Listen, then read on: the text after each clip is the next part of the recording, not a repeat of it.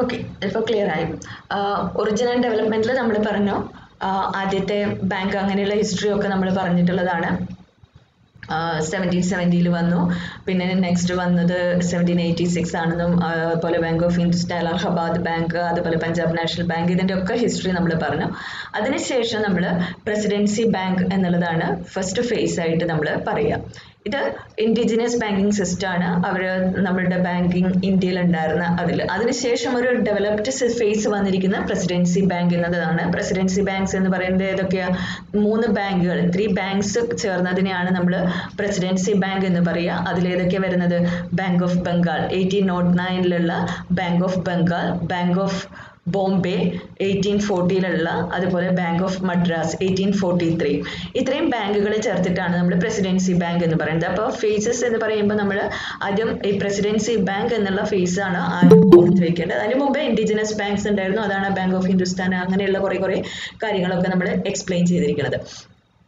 അതിന് അതിനുശേഷം ഒരു വെൽ ഡെവലപ്ഡ് ഫേസ് വന്നിരിക്കുന്നത് after the arrival of British people ആണ് എയ്റ്റീൻ ഫോർട്ടി ത്രീ ആണ്. അതുപോലെ ക്ലിയർ ആയിട്ട് കേൾക്കുന്നില്ലേ? സൗണ്ട് കുറവുണ്ടോ? കേൾക്കുന്നുണ്ട് മിസ്. സൗണ്ട് കുറവില്ലല്ലോ. ഞാൻ ഒരു മിനിറ്റ് ഇന്നെല്ലാം ഒരു സ്ലോ ആണ്. ഓക്കെ ഇത്രയും കാര്യമാണ് ഇതിൽ പിന്നെ ഇതിന് നമ്മൾ പ്രസിഡൻസി ബാങ്ക് പറഞ്ഞപ്പോൾ നമ്മൾ വേറൊരു കാര്യം കൂടി പഠി- പഠിച്ചു. അതായത് നയന്റീൻ ട്വന്റിയിലെ മൂന്ന് ബാങ്കിനെയും കൂടി അമാൽഗമേറ്റ് ചെയ്തിട്ട് ഇമ്പീരിയൽ ബാങ്ക് ഓഫ് ഇന്ത്യ എന്നുള്ളത് ആക്കി. അതും private sector share hold banking തന്നെയാണത്. അതിന്റെ ഷെയർ ഒക്കെ ഓൺ ചെയ്തിരിക്കുന്നത് യൂറോപ്യൻസ് ആണ് എന്നുള്ളതൊക്കെ നമ്മൾ എക്സ്പ്ലെയിൻ ചെയ്തിട്ടുള്ള കാര്യമാണ്. ഇതിൽ പ്രസിഡൻസി ബാങ്ക് എന്നുള്ളതാണ് ഫസ്റ്റ് ഫേസ് നമ്മൾ കാണേണ്ടത്. അതിനുശേഷം വരുന്നതാണ് നമ്മളുടെ ജോയിന്റ് സ്റ്റോക്ക് ബാങ്ക്സ് എന്ന് പറയുന്നത്. ഈ ജോയിന്റ് സ്റ്റോക്ക് ബാങ്ക്സ് എന്നുള്ള ആ ഒരു മൂ- ഇത് വരുന്നത്. അതായത് പ്രസിഡൻസി ബ്രിട്ടീഷ് ഗവൺമെന്റിന്റെ ആണ് അല്ലെങ്കിൽ അവരാണ് മെയിൻ ആയിട്ട് യൂറോപ്യൻസിന്റെ ഷെയർ ആണ് ഇതിൽ വരുന്നത്. ഈ ജോയിന്റ് സ്റ്റോക്ക് ബാങ്ക്സ് എന്നുള്ളതാണ് സെക്കൻഡ് ഫേസ് വരുന്നത്. ഈ സെക്കൻഡ് ഫേസിൽ വരുന്ന ബാങ്ക്സിൽ മെയിൻ ആയിട്ടും ഇന്ത്യക്കാരാണ് ഇത് ബാങ്കുകൾ സ്റ്റാർട്ട് ചെയ്തത്. ഇത് it was as part of the swadeshi movement നമ്മളുടെ സ്വദേശി മൂവ്മെന്റ് എന്നുള്ള മൂവ്മെന്റിന്റെ ഭാഗമായിട്ട് വന്നിട്ടിരിക്കുന്ന ബാങ്കുകളാണ് ഈ ജോയിന്റ് സ്റ്റോക്ക് ബാങ്ക് എന്ന് പറയുന്നത്. ആ ഇത് നമ്മൾ പഠിച്ചു.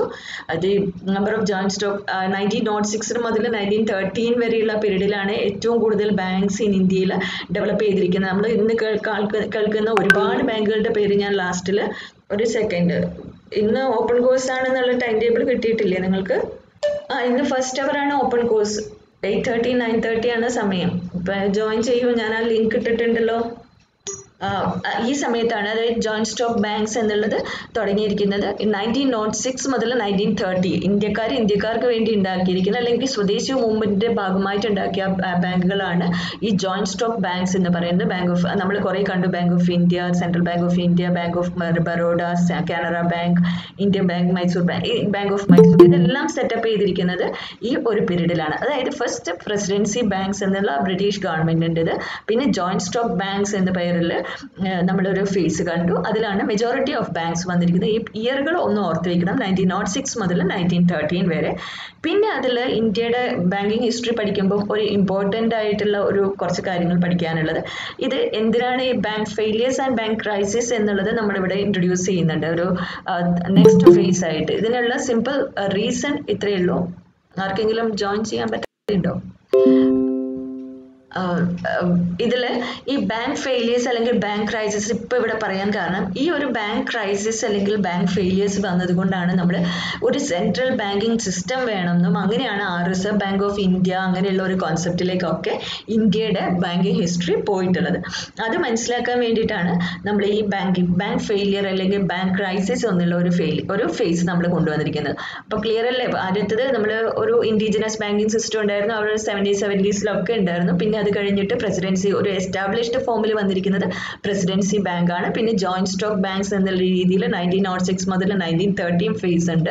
അത് കഴിഞ്ഞിട്ട് India witnessed a bank failure അല്ലെങ്കിൽ ബാങ്ക് ക്രൈസിസ് ഒരു വലിയ എന്താ ബാങ്ക് ഫെയിലിയർ അല്ലെങ്കിൽ ഇവിടെ വളരെ ഒരു ക്രൈസിസ് ഇവിടെ ഉണ്ടായിട്ടുണ്ട്. കുറേ ബാങ്കുകളൊക്കെ പൊളിഞ്ഞു പോയിട്ടുള്ള ഒരു കാലം കൂടിയാണ് ഈ പീരീഡ് എന്ന് പറയുന്നത്. ഈ ഇത് മെയിൻ ആയിട്ടും ഈ ബാങ്ക് ഫെയിലിയർ അല്ലെങ്കിൽ ബാങ്ക് ക്രൈസിസ് ഹാപ്പൻ ചെയ്തത് nineteen seven seventeen nineteen thirty two nineteen thirty nine ഈ ഇയറിൽ വളരെ സിവിയർ ആയിട്ടുള്ള ബാങ്ക് ഫെയിലിയർ ഇന്ത്യയിൽ ഇന്ത്യ ഫേസ് ചെയ്തിട്ടുണ്ട് എന്നുള്ളതാണ്. ഇതിന് കുറേ റീസൺസ് ഉണ്ട്. എന്തുകൊണ്ടാണ് അന്ന് ആ ബാങ്ക് ഫെയിലിയർ അല്ലെങ്കിൽ ബാങ്ക് ക്രൈസിസ് ഇന്ത്യയിൽ നമ്മൾ ഇന്ന് കാണുന്നത് നമ്മൾ യു എസ് എയിലൊക്കെ നമ്മൾ കണ്ടില്ലേ? ബാങ്ക് ക്രൈസിസ് അതേപോലെ ഇന്ത്യ ഈ പീരീഡിൽ nineteen seventeen thirty two thirty nine ഈ ത്രീ ഇയേഴ്സിലും വളരെ സിവിയർ ആയിട്ടുള്ള ബാങ്കിങ് ക്രൈസിസ് ഫേസ് ചെയ്തിട്ടുണ്ട്.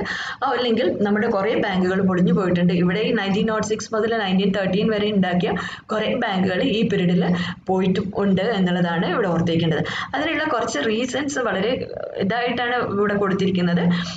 അന്ന് എന്താ മീൻസ് ആരെങ്കിലുമൊക്കെ പൈസ ഉള്ളവർ സ്റ്റാർട്ട് ചെയ്യുക എന്നുള്ളതാണ് അന്നത്തെ ഒരു സിസ്റ്റം ഉണ്ടായിരുന്നത്. അതായത് സ്വദേശി മൂവ്മെന്റ് ആയിരുന്നെങ്കിൽ കൂടി കയ്യിൽ പൈസയില്ല. അതിൽ എഡ്യൂക്കേഷനോ അവരുടെ എക്സ്പീരിയൻസോ ഒന്നും തന്നെ അതിലൊരു ഇമ്പോർട്ടന്റ് ഫാക്ടർ ആയിരുന്നില്ല. Majority of the managers and directors were incompetent അവർക്ക് ആ ഒരു ഫിനാൻഷ്യൽ ഇൻസ്റ്റിറ്റ്യൂഷൻ കൊണ്ടു നടക്കാനുള്ള ഒരു നോളജും അങ്ങനെയുള്ള കാര്യങ്ങളും ഒന്നും ഉണ്ടായിരുന്നില്ല. അവരുടെ മാനേജർമാരും ഡയറക്ടർമാരും ഇൻകോമ്പീറ്റന്റ് ആയിരുന്നു. അത്ര കോമ്പീറ്റന്റ് അല്ല എന്നുള്ളതാണ് ഒരു റീസൺ ഈ പിന്നീട് നമ്മൾക്കറിയാം ഈ ഒരു പീരീഡിൽ ഒരുപാട് ബാങ്കുകൾ വന്നു. അതുകൊണ്ട് തന്നെ second important reason for the bank crisis or failure എന്ന് പറയുന്നത് ഇവിടെ കുറേ ബാങ്കുകൾ വരുമ്പോൾ നമ്മൾ കുറേ ഡെപ്പോസിറ്റുകൾ അട്രാക്ട് ചെയ്യാൻ ഡെപ്പോസിറ്റ് കിട്ടിയാലാണല്ലോ നമുക്ക് ലോൺ കൊടുക്കാനും അങ്ങനെയുള്ള ബാങ്കിന്റെ ഗ്രോത്ത് ഒക്കെ ഉണ്ടാവുക. അങ്ങനെ കൂടുതൽ ഡെപ്പോസിറ്റ് കിട്ടാൻ വേണ്ടിയിട്ട് പല ബാങ്കുകളും മത്സരിച്ച് മത്സരിച്ച് റേറ്റ് ഓഫ് ഇൻട്രസ്റ്റ് കൊടുക്കാൻ തുടങ്ങി. ഹയർ ഹൈ ഒരു ഒരു ബാങ്ക് പത്ത് കൊടുക്കുമ്പോൾ മറ്റേ ബാങ്ക് പതിനഞ്ച് കൊടുക്കുക അങ്ങനെ അവിടെ കോമ്പറ്റീഷൻ ഉണ്ടാവുക. ആ കോമ്പറ്റീഷന്റെ റിസൾട്ടായിട്ട് എല്ലാ കൂടുതൽ ആൾക്കാർ ഈ കോമ്പീറ്റ് ചെയ്ത് കോമ്പീറ്റ് ചെയ്ത് അവസാനം ഈ ഡെപ്പോസിറ്റുകളൊക്കെ നമ്മൾ ഒന്നുകിൽ ലോണായിട്ട് കൊടുക്കണം അല്ലെങ്കിൽ ഇൻവെസ്റ്റ് ചെയ്യണം. ഇത് കൂടുതൽ റേറ്റ് ഓഫ് ഇൻട്രസ്റ്റ് കൊടുക്കണമെങ്കിൽ നമ്മൾ ഏതെങ്കിലും അത്രയും റിസ്കി ആയിട്ടുള്ളിടത്ത് നമ്മളിത് ഡെപ്പോസിറ്റ് അല്ലെങ്കിൽ ഇൻവെസ്റ്റ് ചെയ്താൽ മാത്രമാണ് അത്രയും റേറ്റ് ഓഫ് ഇൻട്രസ്റ്റ് ബാങ്കിന് കിട്ടുള്ളൂ. ഇങ്ങനെ ഇവരെല്ലാം കൂടി ഇത് കൊണ്ടുപോയിട്ട് ഹസാഡസ് ആയിട്ടുള്ള റിസ്കി ആയിട്ടുള്ള ഇൻവെസ്റ്റ്മെന്റിലിടുകയും ആ സാധനങ്ങളൊക്കെ പൊളിയുകയും ബാങ്ക് പൊളിയുകയും ചെയ്തതാണ്. ഇവിടെ ഈ ഒരു റൈവൽറിയും അതിൻ ഇൻ അട്രാക്റ്റിംഗ് ഡെപ്പോസിറ്റ്സും അതിന്റെ റിസൾട്ടായിട്ട് ബാങ്ക് ഫെയിലിയർ അതായത് ഫസ്റ്റ് വൺ മാനേജർമാരും ഡയറക്ടർമാരും കോമ്പീറ്റന്റ് ആയിരുന്നില്ല. സെക്കൻഡ് വൺ കുറേ ഈ ഡെപ്പോസിറ്റ് അട്രാക്ട് ചെയ്യാൻ വേണ്ടിയിട്ട് ഹയർ റേറ്റ് ഓഫ് ഇൻട്രസ്റ്റ് കൊടുക്കുകയും അവരത് ഹയർ എന്താ റിസ്കി ഫണ്ടിൽ ഇൻവെസ്റ്റ് ചെയ്യുകയും അങ്ങനെ ആ റിസ്കി ഫണ്ടുകൾ ഫെയിലിയർ ആയപ്പോൾ ബാങ്ക് ഫെയിലിയർ ആവുകയും ചെയ്തു എന്നുള്ളതാണ് അനദർ ഇമ്പോർട്ടന്റ് റീസൺ അതാണ് തേർഡ് ആയിട്ട് എഴുതിയിരിക്കുന്നത്. In order to give higher interest the employed funds in hazardous enterprises എന്നുള്ളത് പിന്നെ അനദർ ഇമ്പോർട്ടന്റ് റീസൺ എന്ന് പറയുന്നത് ഇവിടെ നയന്റീൻ തേർട്ടി ഫോർ വരെ സെൻട്രൽ ബാങ്ക് ഉണ്ടായിട്ടില്ല.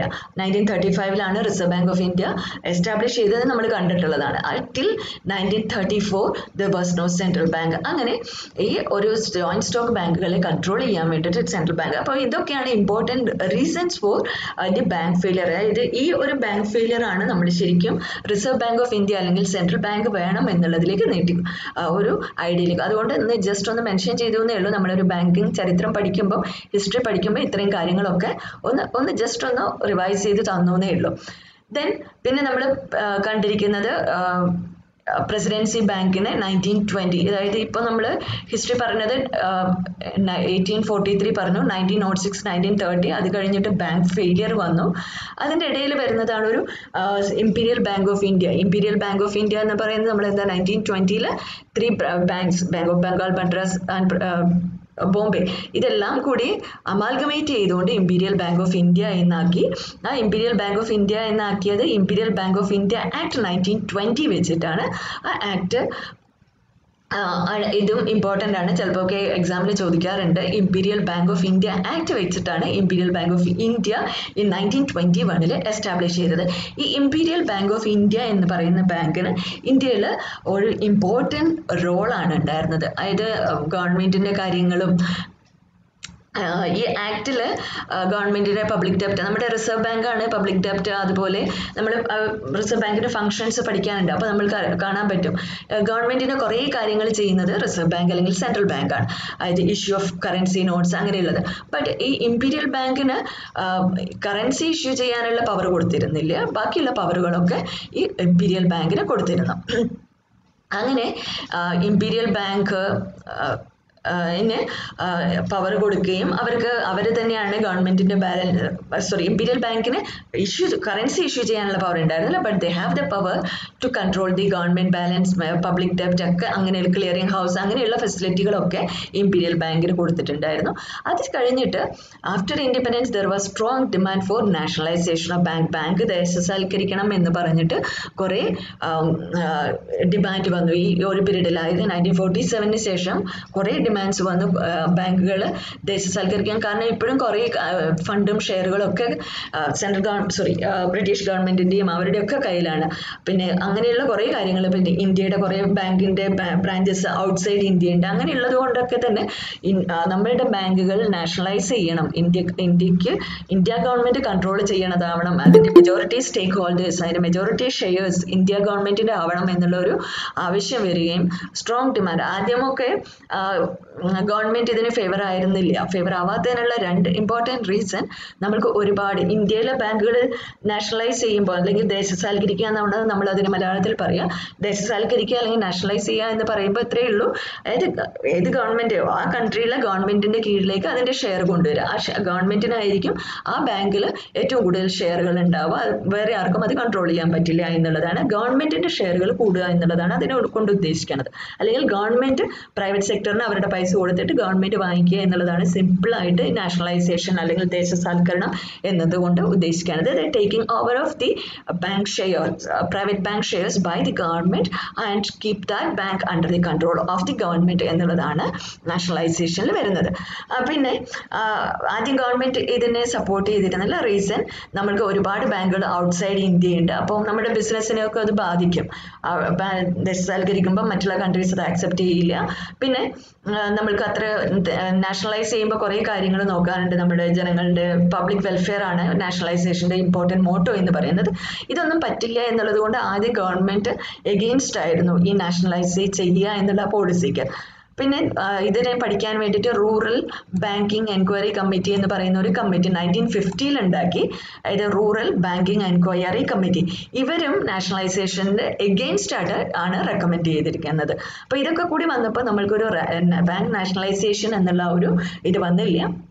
പിന്നീട് വീണ്ടും ഇത് ആവശ്യങ്ങൾ വരികയും റൂറൽ ക്രെഡിറ്റ് സർവേ കമ്മിറ്റി എന്നുള്ള കമ്മിറ്റി ഇതിനുശേഷം നയന്റീൻ ഫിഫ്റ്റി ടൂൽ ഒക്കെ സെറ്റപ്പ് ചെയ്തിരിക്കുന്ന റൂറൽ ക്രെഡിറ്റ് സർവേ കമ്മിറ്റി ഇതിന് വേണ്ടിയിട്ട് സ്ട്രോങ് ആയിട്ട് റെക്കമെൻഡ് ചെയ്യുകയും അങ്ങനെ നമ്മളുടെ ബാങ്ക് നാഷണലൈസേഷന് വേണ്ടിയിട്ടുള്ള പോളിസികൾ കൊണ്ടുവരികയും ഈ ഇമ്പീരിയൽ ബാങ്ക് ഓഫ് ഇന്ത്യനെ നാഷണലൈസ് ചെയ്തിട്ട് സ്റ്റേറ്റ് ബാങ്ക് ഓഫ് ഇന്ത്യ എന്ന് ഫസ്റ്റ് ജൂലൈ നയന്റീൻ ഫിഫ്റ്റി ഫൈവിൽ എടുക്കുക ആക്കുകയാണ് ചെയ്തിരിക്കുന്നത്. അങ്ങനെ ഇന്ത്യ ഗവൺമെന്റ് ഇമ്പീരിയൽ ബാങ്കിന്റെ ഷെയറുകൾ മൊത്തം വാങ്ങിക്കൊണ്ട് സ്റ്റേറ്റ് ബാങ്ക് ഓഫ് ഇന്ത്യ എന്നാക്കി ഈ ഇയർ ഒന്ന് ഓർത്ത് വയ്ക്കണം nineteen fifty five July first ആണ് ആ ഡേറ്റ് എന്ന് പറയുന്നത് state bank of India setup ചെയ്ത ഡേറ്റ് ഇത്രയാണ് ഇമ്പീരിയൽ ബാങ്ക് എന്നുള്ളത്? ഇമ്പീരിയൽ ബാങ്ക് ചിലപ്പോൾ ഈ വൺ മാർക്കിനൊക്കെ ചോദിക്കാറുണ്ട്. അപ്പോൾ ചോദിക്കുമ്പോൾ ഈ ഹിസ്റ്ററി ഇമ്പീരിയൽ ബാങ്ക് എങ്ങനെയാണ് വന്നത്? അതായത് ആ മൂന്ന് ബാങ്കുകളെ യോജിപ്പിച്ചുകൊണ്ട് അമാൽഗമേറ്റ് ചെയ്തുകൊണ്ടാണ് ഇമ്പീരിയൽ ബാങ്ക് ഓഫ് ഇന്ത്യ വന്നിരിക്കുന്നത്. നയന്റീൻ ട്വന്റി വണ്ണിലാണ് അതിന്റെ ആക്ട് എന്ന് പറയുന്നത് imperial bank of India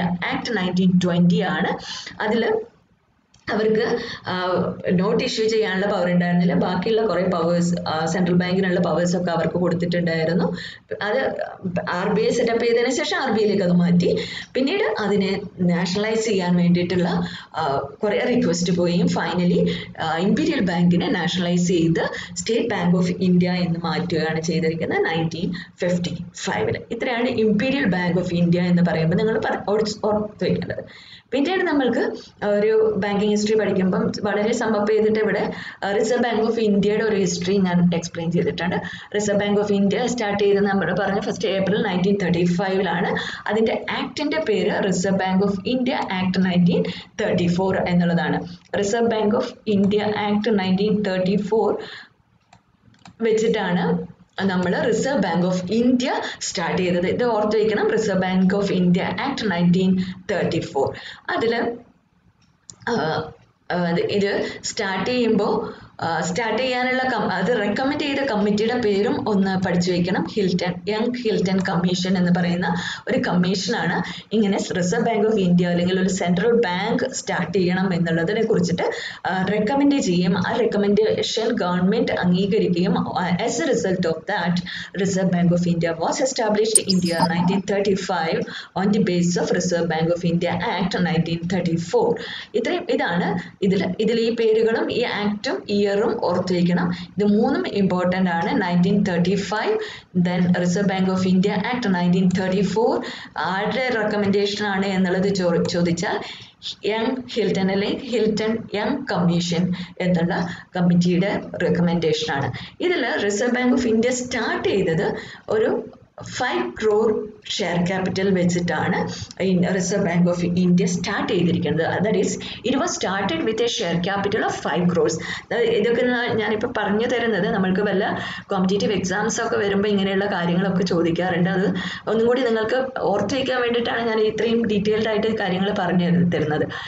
അതായത് സ്റ്റാ റിസർവ് എപ്പോഴും കേൾക്കുന്ന കുറേ കാര്യങ്ങളാണ് ഈ റിസർവ് ബാങ്ക് ഓഫ് ഇന്ത്യ അങ്ങനെയുള്ള കാര്യങ്ങളൊക്കെ. അപ്പോൾ ഇതൊന്ന് മനസ്സിൽ വയ്ക്കുക. അതിൽ സ്റ്റാർട്ട് ചെയ്ത ഷെയർ ക്യാപിറ്റൽ എന്ന് പറയുന്നത് ഫൈവ് ക്രോർസ് ആണ്. ആ ഫൈവ് ക്രോഡ്സ് എന്ന് പറയുന്നത് നൂറ് രൂപയുടെ ഷെയർസ് ആയിട്ടാണ് നമ്മൾ അന്ന് വിറ്റുകൊണ്ടിരുന്നത്. അത് ഹൺഡ്രഡ് റുപ്പിയുടെ ഷെയർ ആയിട്ടാണ്. അത് പ്രൈവറ്റ് ഇൻഡിവിജ്വൽ പ്രൈവറ്റ് ഷെയർ ഹോൾഡേഴ്സിന്റെ കയ്യിലായിരുന്നു ഇന്ന് അന്ന് അതായത് അത് ഗവൺമെന്റിന്റെ തുടങ്ങിയ കാലത്ത് ഗവൺമെന്റ് ആയിരുന്നില്ല അതിന്റെ ഷെയറുകൾ വാങ്ങിയിരുന്നത്. അത് വാങ്ങിയിരുന്നത് പ്രൈവറ്റ് ഇൻഡിവിജ്വൽസ് ആണ്. ആ പ്രൈവറ്റ് മാനേജ്മെന്റ് അല്ലെങ്കിൽ പ്രൈവറ്റ് ഷെയർ ഹോൾഡേഴ്സ് ആയിരുന്നു അതിന്റെ കാര്യങ്ങൾ. ആ ബാങ്കിനെ നാഷണലൈസ് ചെയ്യുന്നത് വരെയും അതിന്റെ കാര്യങ്ങൾ പ്രൈവറ്റ് ഷെയർ ഹോൾഡേഴ്സിന്റെ കയ്യിലായിരുന്നു. റീസൺ എന്താണ്? അത് ഇത് ഷെയർ ക്യാപിറ്റൽ ആയിട്ടാണ് അങ്ങനെയുള്ള ഒരു ഇതിൽ കൂടിയാണ് നമ്മുടെ reserve bank of India start ചെയ്തത്. ഫൈവ് ക്രോഡ്സ് ഷെയർ ക്യാപിറ്റൽ വെച്ചിട്ട്. ഷെയർ ക്യാപിറ്റൽ എന്ന് പറയുമ്പോൾ ആ ഷെയർ നമ്മുടെ ജനങ്ങളിൽ നിന്നോ ആരെങ്കിലും ഇഷ്ടമുള്ളവർ അതിന്റെ ഷെയർ എടുത്തിട്ട് പൈസ കൊടുക്കുക. അങ്ങനെ അത് എന്താ അങ്ങനെ അത് അതിന്റെ പൈസ സമാഹരിച്ചുകൊണ്ട് അതിന്റെ വർക്കുകൾ ചെയ്യുക എന്നുള്ളതാണ് ഉദ്ദേശിക്കുന്നത്. അപ്പോൾ നൂറ് രൂപയുടെ ഷെയറുകളായിട്ടാണ് അന്ന് വിറ്റിരുന്നത്. അങ്ങനെ അത് മൊത്തം വാങ്ങിച്ചിരുന്നത് പ്രൈവറ്റ് ഷെയർ ഹോൾഡേഴ്സ് ആയിരുന്നു. അത് റിസർവ് ബാങ്ക് ഓഫ് ഇന്ത്യ എന്നുള്ളത് അതുകൊണ്ട് തന്നെ പ്രൈവറ്റ് ഷെയർ ഹോൾഡേഴ്സിന്റെ കയ്യിലാണ് ആദ്യം ഉണ്ടായിരുന്നത്. അതിൽ ഗവൺമെന്റിന്റെ കയ്യിലുണ്ടായിരുന്ന ഷെയർ എന്ന് പറയുന്നത് രണ്ട് ലക്ഷത്തി ഇരുപതിനായിരം രൂപ. അതായത് two lakhs twenty thousand was only with the നമ്മുടെ government of India. Government of ഇന്ത്യയുടെ കയ്യിൽ ഇത്ര മാത്രമേ അഞ്ച് കോടിയിൽ ടു ലാക്സ് ട്വന്റി തൗസൻഡ് മാത്രമാണ് ഗവൺമെന്റ് ഓഫ് ഇന്ത്യയുടെ അതായത് അവരുടെ ഷെയർ എന്ന് പറയുന്നത് ഗവൺമെന്റ് ഓഫ് ഇന്ത്യയുടെ ഷെയർ എന്ന് പറയുന്നത് വളരെ മീഗറായിട്ടുള്ള ഒരു ഷെയർ ആയിരുന്നു. ഇത് പിന്നീട് അതിൽ പ്രോബ്ലം വരികയും പിന്നെ reserve bank of India nationalise ചെയ്യാണ് ഉണ്ടായത്. Nineteen forty നയനിലാണ് reserve bank of India nationalise ചെയ്തിരിക്കുന്നത്.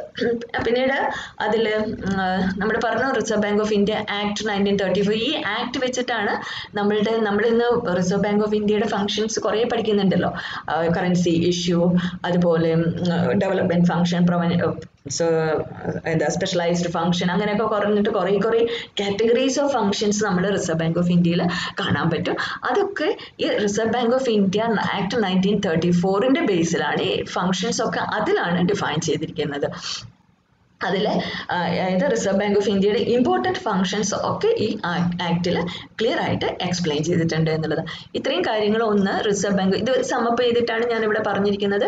ഈ റിസർവ് ബാങ്ക് ഓഫ് ഇന്ത്യയുടെ ഫങ്ഷൻസ് നമ്മൾക്ക് വേറെ പഠിക്കാനുണ്ട്. അപ്പോൾ ഞാൻ കൂടുതൽ അവിടെ പറയാം. നമ്മൾക്ക് ഇപ്പോൾ ഒരു ഷോർട്ട് എസ് ആയിട്ട് എങ്ങാനും വരികയാണെങ്കിൽ ഉള്ള ഭാഗത്തിനാണ് ഞാനിപ്പോൾ ഇവിടെ പറയുന്നത്.